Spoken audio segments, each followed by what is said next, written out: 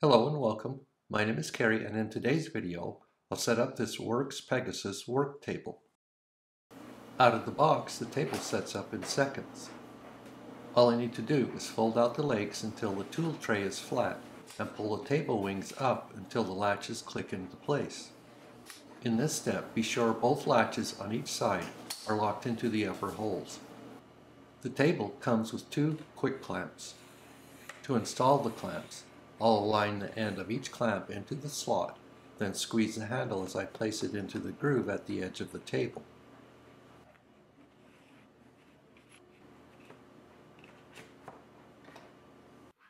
The table also comes with four clamping dogs.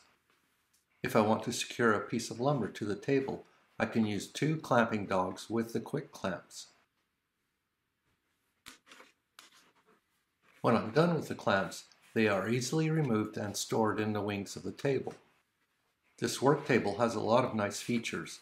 It supports up to 300 pounds, weighs only 25 pounds, making it lightweight and portable, has tool storage on the tabletop and bottom shelf, and the clamping system makes it a great buy for any contractor or do-it-yourselfer. So that completes my video on the Worx Pegasus work table. Thanks for watching and have a great day.